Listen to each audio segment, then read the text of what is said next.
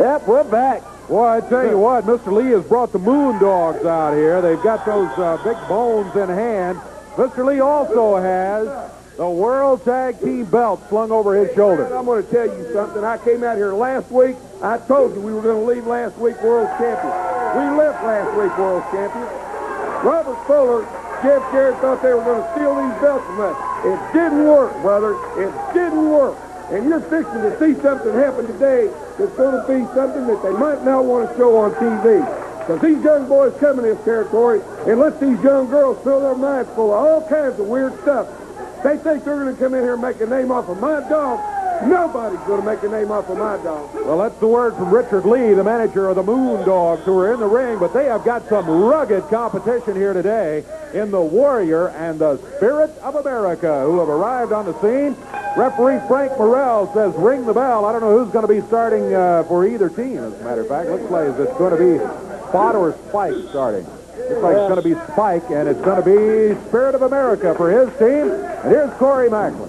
All right, thank you, Dave. This is just the opening, just the beginning of a full day we've got today.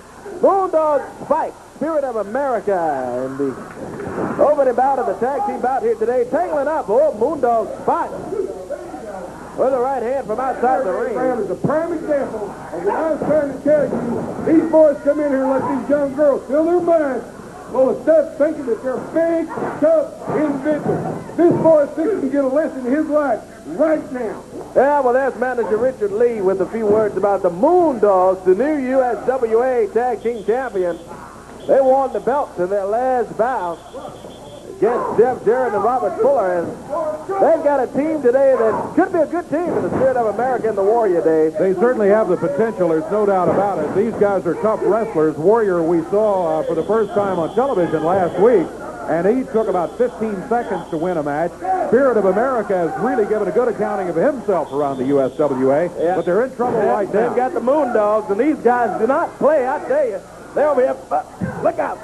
Oh, boy. See if I can get back over here. One of the Moondogs has got Spirit of America over here by the desk table, and the Moondogs back in the USWA, and boy, they came back in high fashion, too, and they working on the Spirit of America outside the ring. The other Moondog has the Warrior on the other side. I guess Spot is the official Moondog that is in the ring now against the Spirit of America with a big right hand on Spirit.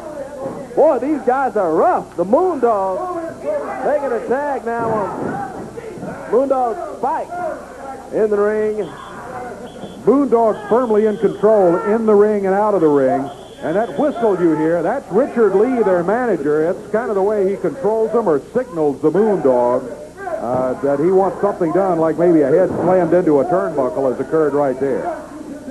Moondog Spike picks up Spirit of America, throws him outside the ring there again, and rolls over.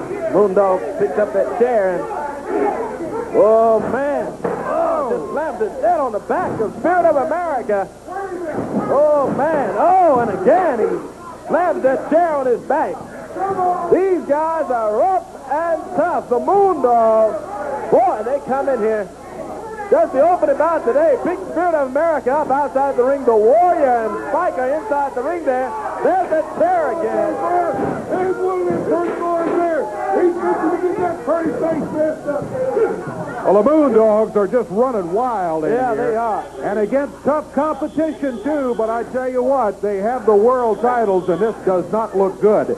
Because the way they're dominating this match, it looks like they're going to be able to dominate the USWA at least for another day.